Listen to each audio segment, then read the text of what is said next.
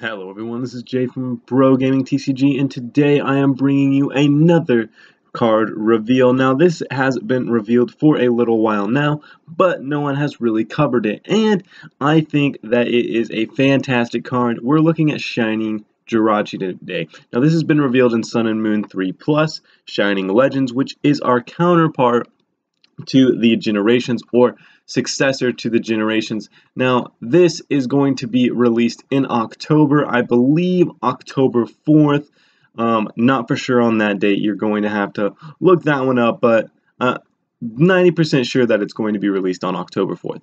Anyways, guys, let's get into the Pokemon here. It is a Psychic type Pokemon, which we've seen uh, Jirachi be various different um, forms. It has been a metal, it has been a colorless, it has been it's been several different ones. Now it has 70 HP, which is pretty low, but for a basic Pokemon, it's decent. You know, we see a lot of stage uh, basic Pokemon that evolves that have 70 HP, so I can't get too mad that it has 70 HP. Now it's only attack, which is strange that it only has one attack.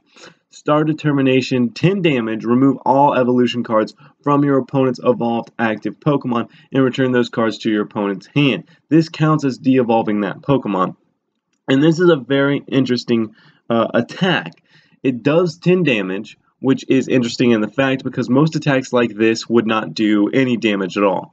And then on top of that, it removes any evolution card that has been attached to the Pokemon, which once again is something that we've never seen in the Pokemon TCG, but with evolution Pokemon becoming more and more prevalent in the TCG, will this card become something that can counter those evolutions?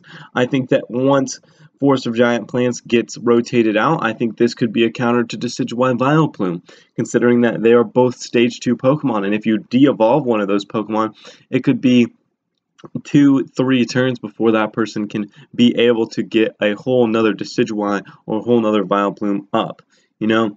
So this could be a very, very interesting tech card. This could, but the downside to it is that it only has 70 HP, and it is an attack. If this was an ability that you could use once per turn, I would say this card would be um, a very, very extremely good tech in the standard format that we have right now, even possibly an expanded format.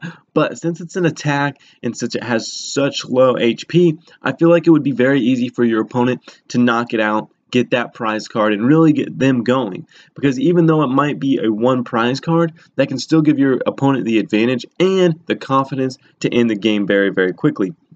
So definitely leave your comments, leave your opinions on this card below. I'd like to hear them, and I reply to all of them. So definitely go ahead to the, head to that comment section, type in that uh, your opinion below. I would like to hear it. Plus, I love to hear your guys' ideas. So anyways, that's all I have for you guys today. I want to remind you to like the video if you enjoyed it and subscribe to the channel if you have not subscribed yet. I cannot urge you to do that enough. Subscribe to this channel. It helps us out a ton. Anyways, my name is Jay from Bro Gaming TCG. I want to remind you all to always keep on battling and pursue your dreams. Thanks for watching.